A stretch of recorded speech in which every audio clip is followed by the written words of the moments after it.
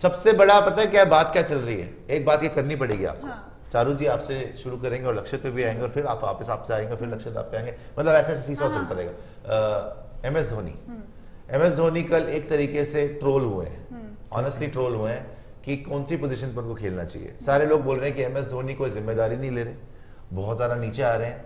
जब बड़े मैच हो रहे हैं या मैच फंस रहे हैं तो उनको ऊपर आना चाहिए क्योंकि उनसे बैटिंग अच्छी हो रही है।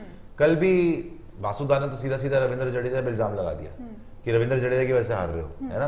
रविंद्र जडेजा को एक बार दिखाना यार रविंद्र जडेजा रेडी है क्या? रविंद्र जडेजा को एक बार रन दिखाना कितने रन बनाए उसने कितनी बॉलों पे? मेरे ख्याल कल के मैच के। कितना था? कल के मैच में बाईस है, रन ready शायद है। 18 तो इससे हाँ ये देखो बॉल पंद्रह बॉलों पे तेईस रन है तो वो बासु ज़्यादा चाह रहे थे चार सौ की स्ट्राइक रेट तो चलो नहीं हो सकता बट कम से कम ढाई सौ की स्ट्राइक रेट दो सौ ढाई सौ की स्ट्राइक रेट से जिस पोजीशन पे खेल रहे थे हाँ। और जो सिचुएशन थी हम्म। होना चाहिए था।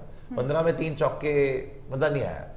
Ravindra Jadeja much better player than this but चलो जडेजा को साइड पर रखो। वो पूरी दुनिया, आप ट्विटर खोलो। सारे लोग ये बात कर रहे हैं कि एम एस धोनी कौन सी पोजीशन पे खेलने चाहिए। और क्यों इतने नीचे आ रहे हैं? और वो ये बोल रहे हैं कि एम एस धोनी बाकी सबसे बोल रहे हैं कि भैया तुम करो जो करना है। हालाँकि हमने राजस्थान रॉयल्स वाली पिछली गेम में देखा था कि जब सब आउट हो गए तो धोनी नहीं मारे थे ना। तो धोनी की पोजीशन को लेकर क्या आपको लगता है? देखो धोनी का ये ना कल जब हम भी बात कर रहे थे कि क्या रीजंस रहे चेन्नई के हारने के तो मैं बार बार यही चीज़ कहती हूँ कि अगर ऐसी सिचुएशन है धोनी को स्टेप अप करना चाहिए धोनी हाँ। को खुद को प्रमोट करना चाहिए और आना चाहिए आगे। हालाँकि अगर हम जो सबका एक बैटिंग ऑर्डर होता है रहाणे तीन नंबर पर आते हैं और मिडिल ऑर्डर में लोअर मिडिल ऑर्डर में जडेजा आते हैं उसके बाद धोनी आते हैं। तो धोनी ने उसके साथ छेड़छाड़ नहीं की हालाँकि। लेकिन अगर सिचुएशन आपको फंसती हुई दिख रही है जैसे कल के मैच में आप राजस्थान से एक मैच ऑलरेडी हार चुके थे बहुत क्लोज मैच हार चुके थे और आपको ये भी पता था कि वो मैच आप जीत सकते थे। बहुत कम मार्जिन था जिससे आप हारे थे। तो वहाँ से- एग्जैक्टली exactly. तो वहाँ पर आपके पास ऐसा नहीं था कि कल के मैच में भी कि एकदम चला गया था हाथ से मामला। अगर तब भी एम एस धोनी अगर आते जडेजा से पहले आ सकते थे पूरा मौका था उनके पास और उनको शायद कहीं ना कहीं ये कॉन्फिडेंस होगा खुद के ऊपर। जिस तरह से वो शुरुआत से पहले मैच से खेलते आ रहे हैं कि मैं कर सकता हूँ ये चीज़।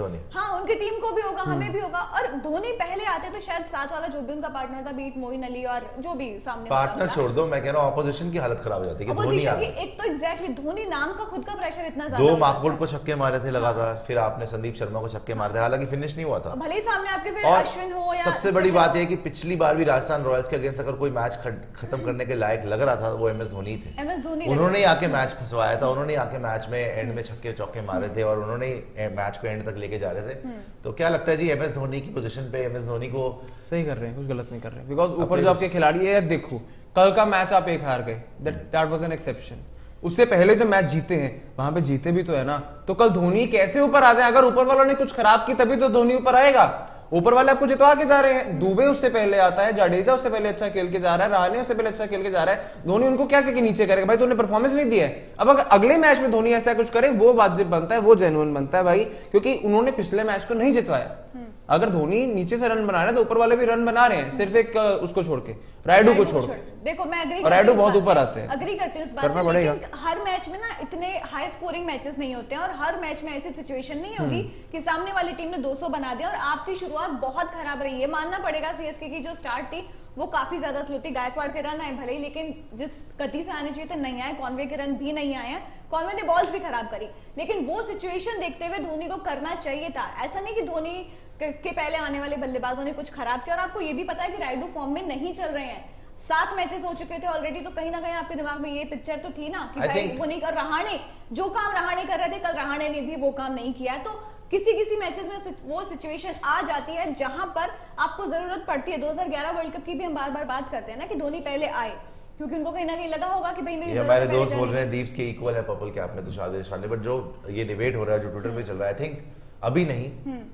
लेकिन जब सिचुएशन वाकई में डिमांड करेगी तब एम एस धोनी ऊपर आ जाएँगे। बिकॉज़ ये मैंने खुद भी झेला हुआ हम्म। है दिल्ली कैपिटल्स वर्सेस सीएसके जब 2021 में जीती थी सीएसके 21 तो आई थिंक क्वालिफायर वन था। I think so hmm. और उसमें जब सिचुएशन थी और रिकी पॉन्टिंग से और धोनी ऊपर आए थे धोनी ने ही फिनिश करा था वो मैच रामकरण को भी मारा था आवेश खान को भी मारा था। तो जब रिकी पॉन्टिंग से पूछा गया कि क्या आपको लग रहा था कि धोनी आएँगे? तो रिकी पॉन्टिंग ने बताया था मुझे पता था कि धोनी आएँगे। और कोई नहीं आएगा धोनी ही आएँगे बैटिंग के लिए बिकॉज़ वो मैच था वाकई में मतलब करो या मरो वाला मैच था। बिकॉज़ क्वालिफायर वन था उसके बाद जीत कर आप सीधा फाइनल में जाते हो जो गई सीएसके और फाइनल भी जीत गई। और केकेआर से फाइनल हुआ था। तो उस मैच में धोनी ऊपर आए थे और पूरे सीरीज़ पूरे टूर्नामेंट में नहीं आए थे।